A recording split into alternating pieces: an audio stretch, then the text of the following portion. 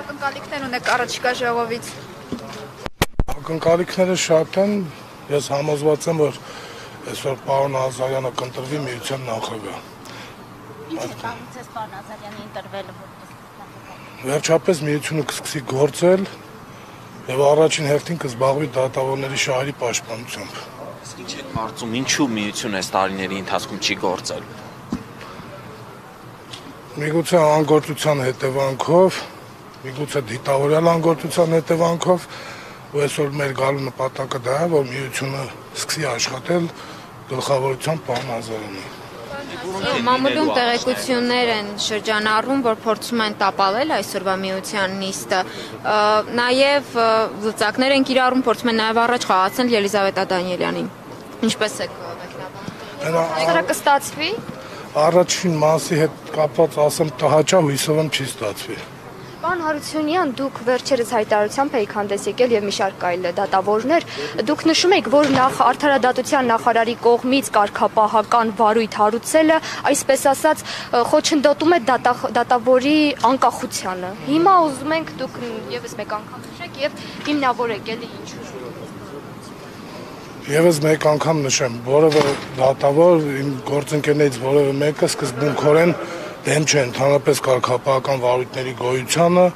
ընդհանրապես այդ հարցերի քննարկմանը։ Խոսքը ստեղ գնում է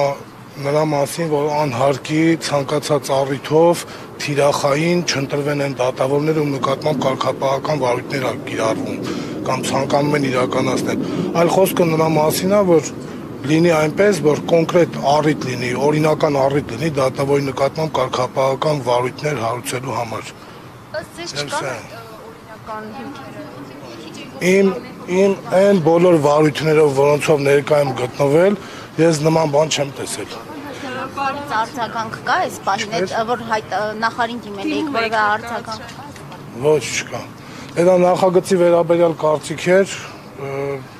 չեմ կարծում, թե պետք է արձագանքել, բայց ամեն դեպքում չենք հանդիպել կարծիք։ Պարոն Հարությունյան, մակագրումների համակարգիչն են տարել մի քանի ամիս է չկա, ինչպես կմեկնաբանեք սա արդյոք սրանով չի խոչընդոտվում դատական իշխանությունը։ Բարձրապին դատական խորհուրդն ասաց ինքը որ որևէ առողջություն չի կարող ունենալ այդ ամենի։ Չէ՞ որ այսինքն ամեն ինչի անգուցալուց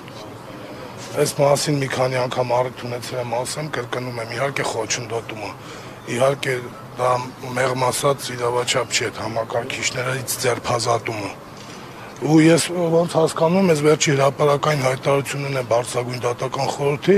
ուղղակի պետք է անկեղծ լինենք, իրանք էլ ոնց որ չեն թաքցում անկեղծությունը, ցանկություն չունեն ընդհանրապես դա հետ բերելու։ Ասում են թե թե բանակցում են նոր ընկերությունների հետ,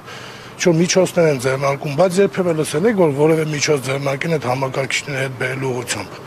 Նույնիսկ դա հրաապարական չեն էլ ասում։